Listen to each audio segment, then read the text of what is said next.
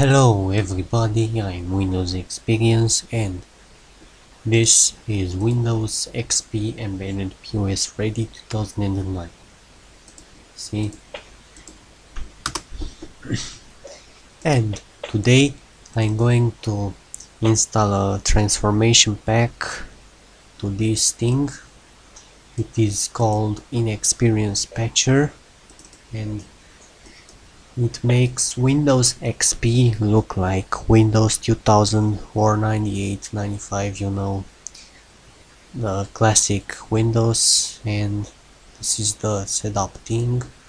And I'm going to install this thing in this operating system. And this is a long-term support version of Windows XP and yeah I'm installing this thing.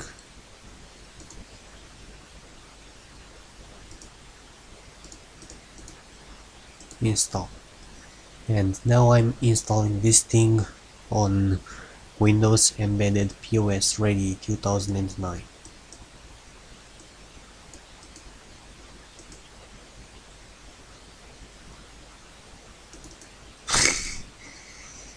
seriously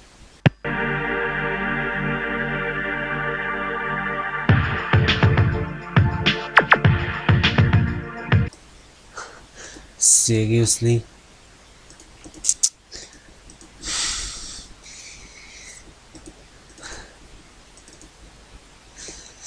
Oh my god.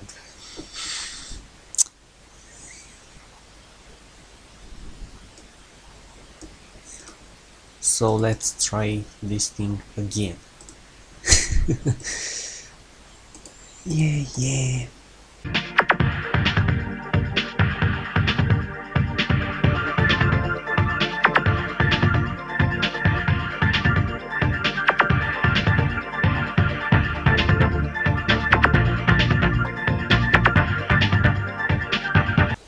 Wow! And yeah, this thing is getting an error. And uh, it automatically well yeah automatically powers off the machine.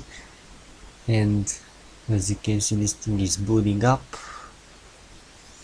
And as you can see this is the ship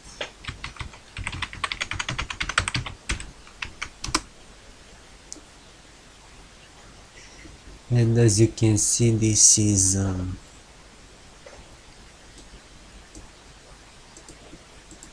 shit and it doesn't work on this version of Windows XP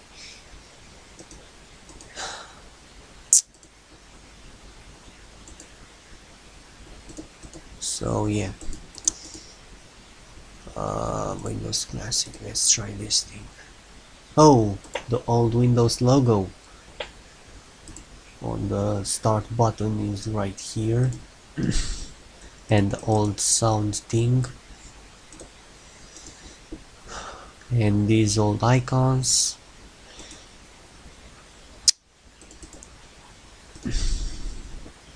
And um, that's pretty much it and this thing is not working at all in uh, Windows Embedded POS Ready 2009 see? So yeah. As you can see a couple of things are changed in this thing. Yeah, but uh, this thing is not working at all in this operating system because uh, of it something is um, blocking the program to change some system files. And as you can see this is the shit and it doesn't work at all. So yeah. This is it. Thank you for watching